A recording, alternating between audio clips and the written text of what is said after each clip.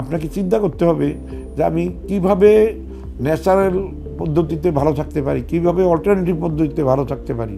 আপনাকে চিন্তা করতে হবে কীভাবে অ্যান্টিবায়োটিক না খেয়ে আমি যদি রসুন খাই, পেঁয়াজ খাই, আদা খাই, লবঙ্গ খাই, দারচিনি খাই এলাচি খাই জৈত্রিক খাই, জায়ফল খাই, পোস্তাদানা খাই, এই জিনিসগুলি ন্যাচারাল অ্যান্টিবায়োটিক একটি রসুন যে কত বড় মূল্যবান অ্যান্টিবায়োটিক এটা চিন্তা করার মতো না। রসুনটাকে আপনি বিভিন্নভাবে প্রসেস করে খেতে পারেন।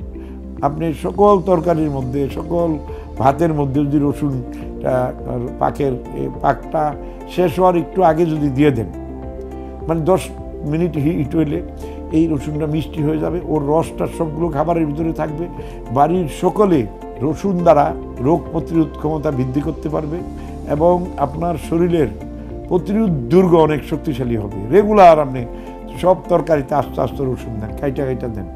এই বাইটা টিটা গুণ নষ্ট না করে আপনি এরকম আস্ত রসুনও দিতে পারেন। পুরা রসুনটা ভালো করে ধুয়ে দিয়ে দেন না। শিকড় বাকড় সহই দিয়ে দেন। আবার এখন কাঁচা রসুন পাতা পাওয়া যায়, কাঁচা পেঁয়াজ পাতা পাওয়া যায়। এগুলো আস্ত পাতা সহ দেন না। খাওয়ার একটু অভ্যাস করেন, একটু বিবর্তন আনেন। রুচিরও পরিবর্তন হবে, স্বাদেরও পরিবর্তন হবে।